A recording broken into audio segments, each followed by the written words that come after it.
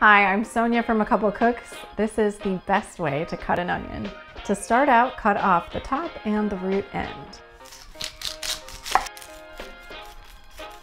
Stand it on its end and slice it down the middle. Remove the paper and discard it.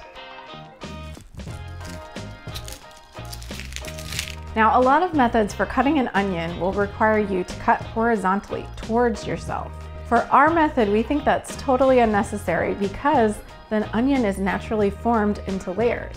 So our method is a little bit easier. Now to dice an onion, what you'll do is get a good firm grip at the base of your knife, and then you will cut horizontal slices in the same direction as the top and the root.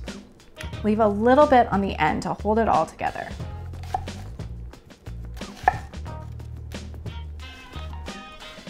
If you're mincing your onion, you would just make thinner slices. And then to dice, simply cut in the other direction following the curvature of the onion.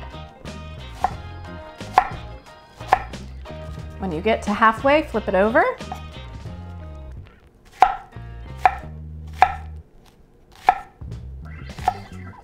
When you get to the end that didn't have the slice, just give it a few more chops.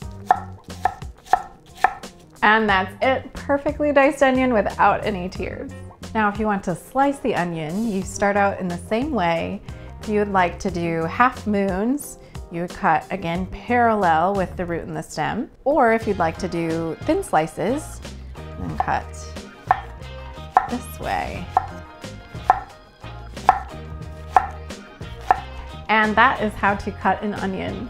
For more of our knife skills videos, hundreds of recipes, and more on our cookbook, Pretty Simple Cooking, head over to acouplecooks.com.